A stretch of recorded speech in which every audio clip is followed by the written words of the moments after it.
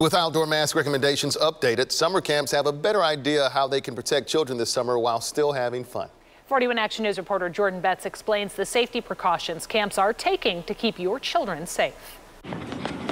With summer vacation quickly approaching, thousands of kids will be out of school and summer camps will be in full swing. Coming into this summer, it feels like We've done this before. We ran camp last summer. I've got staff who have done this before. A number of camps will be in operation this summer, something that did not happen last summer thanks to COVID 19.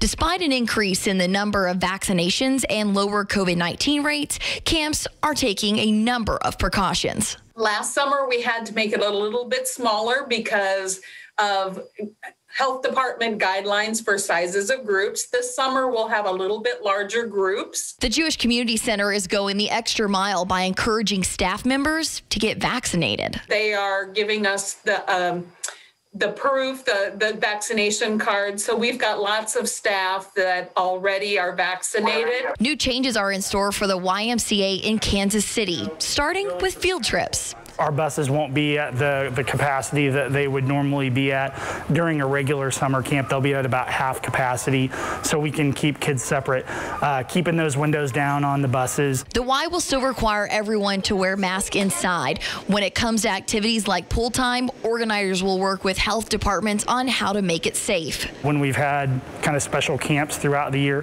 to have kids who are in the pool with masks on. So it's something that something that we've done and something that we'll continue to do uh, if that's what the municipality, the county governments, or the CDC recommends. While safety is a top priority for camps, they just want kids to have fun. Certainly an experience that will impact the rest of their life, and, and these types of learning experiences will help them be better adults. Jordan Betts, 41 Action News.